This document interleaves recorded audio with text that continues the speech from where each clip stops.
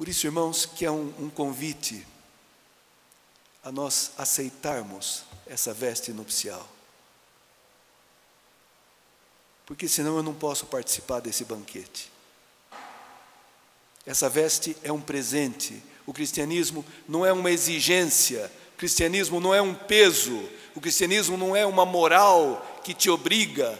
Cristianismo é uma oferta, é um presente, é uma graça, é um dom para os pecadores, para aqueles que não conseguem sozinhos com as suas forças.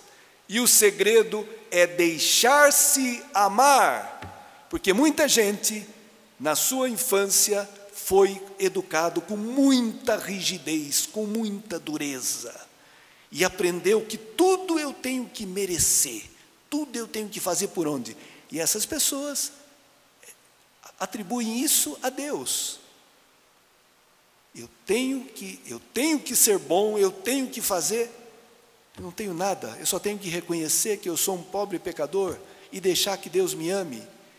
E se eu fizer isso, Deus vai fazer, vai me revestir de Cristo, dos sentimentos de Cristo. E como eu experimento sempre que Ele me perdoa, eu vou começar a perdoar os outros. Como eu experimento que Ele me ama, que Ele está comigo, eu vou começar a amar os outros. Irmãos, é maravilhosa essa, essa palavra, porque vocês viram que quando ele perguntou, o cara não sabia o que falar, porque não tinha o que falar.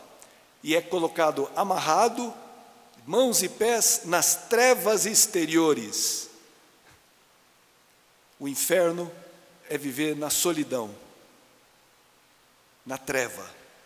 É não sentir-se amado e não amar ninguém. O céu é viver na luz, é sentir-se totalmente amado e poder amar. E aqui haverá choro e ranger de dentes, mas esse choro aqui não tem consolação. Deus não vai enxugar essas lágrimas, porque esse, essa pessoa livremente recusou o traje nupcial, o presente de Deus, a graça de Deus. Então, irmãos, como fala São Paulo, não não recebais a graça de Deus em vão.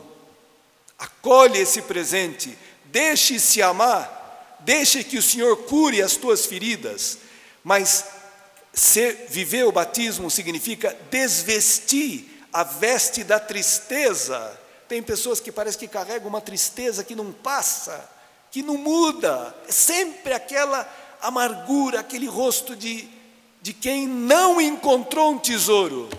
Essa veste tenho que jogar fora. E a veste, também uma das dos sinônimos de veste é hábito, né? Hábito. Então, nós temos que mudar os hábitos, porque às vezes nós nos habituamos a certas coisas que não são boas, que não me aproximam de Deus, que não me ajudam a amar as pessoas. Então, mudar de hábito, mudar de veste, mudar de espírito. Isso é uma graça que Deus quer nos dar. Porque tem aqueles, não, eu gosto disso, eu sempre fiz, eu quero continuar fazendo. E, irmãos, eu penso uma coisa: aqui fala, uns foram para o campo, outros foram para os negócios, e eu penso, o campo, o trabalho, te, dá, te livra da morte, como promete aqui? Vai destruir a morte para sempre?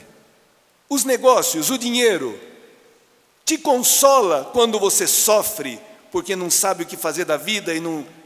Não, irmãos, só Deus, só Jesus Cristo